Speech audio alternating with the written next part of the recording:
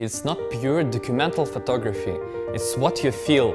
And this is the biggest challenge, to show viewers your feelings.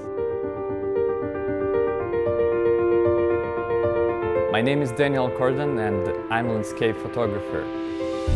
For many years, I developed my own style of photography. In this tutorial, you will learn not only about my post-processing techniques, you will also know about my entire philosophical approach to landscape photography and my approach to photography as a business. Landscape photography, it's not only an art, it's also a science.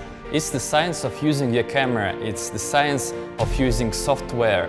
It might be quite complicated for the beginner to tame your camera, to tame all the settings and understanding the light.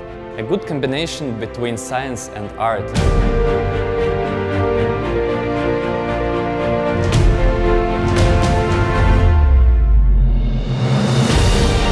Modern landscape photography it's not only about composing your images and creating amazing ideas of your trips, it's also about presenting your images to your audience. It took me about five or six years to develop my own processing style and my own style of composition and I will show you my approach to processing images, to composing images.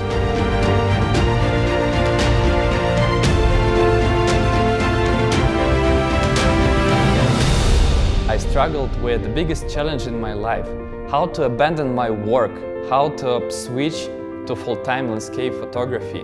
And I had already a portfolio, but at one single day I decided to be a landscape photographer. How I did this, how I pay for my trips to make photography as a business, we will talk about this.